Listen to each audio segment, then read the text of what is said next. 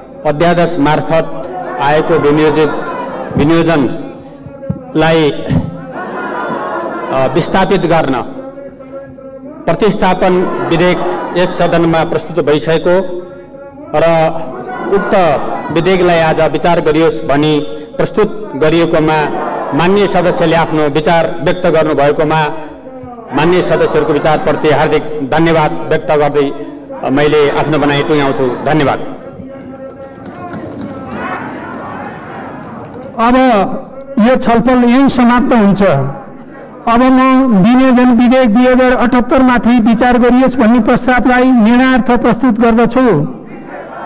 यो प्रस्तावको पक्षमा हुने मान्य सदस्यहरूले हुन्छ भन्नुहोला यसको विपक्षमा हुने मान्य सदस्यहरूले हुन्न भन्नुहोला।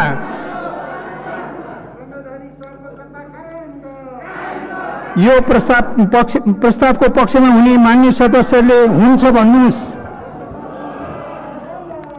यसको विपक्षमा हुने मान्य सदस्यहरूले हुन्न भन्नुहोस्।